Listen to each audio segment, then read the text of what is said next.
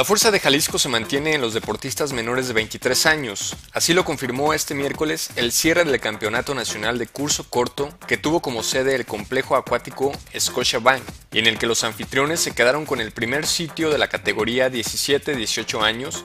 así como el tercer lugar general dominado por el Estado de México y Nuevo León.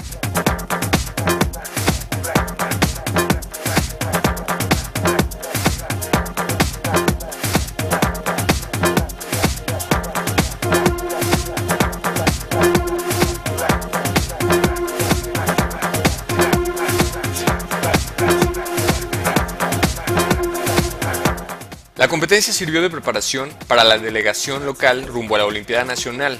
para la cual fue selectiva la justa así como puntuable, y de marcas rumbo a los Juegos Olímpicos de Londres 2012.